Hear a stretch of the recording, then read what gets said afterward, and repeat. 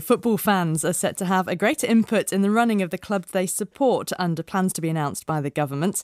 Sports Minister Helen Grant is at Portsmouth Football Club later, the biggest supporter owned club in the country, to launch the Supporter Ownership and Engagement Expert Group.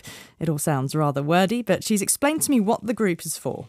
Well, it does sound wordy, but uh, it is certainly very much needed. Fans always have the best interests of their clubs at heart.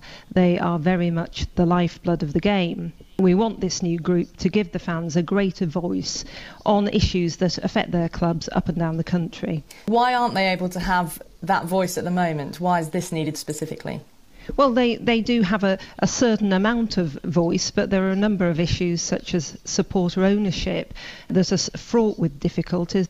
We felt the best way to uh, listen to fans and to allow further engagement would be to set up this expert group, get everyone talking together, and hope that it would give them a platform and profile where their voice will be properly heard.